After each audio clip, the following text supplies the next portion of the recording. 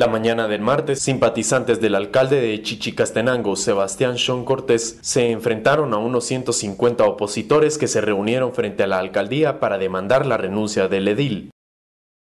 El hecho, que generó saqueos en los establecimientos municipales, cinco pobladores heridos y cuatro detenidos, se dio a raíz de acusaciones emitidas por líderes comunales por la supuesta malversación de 15 millones de quetzales, destinados a obras para los 46 cantones de ese municipio.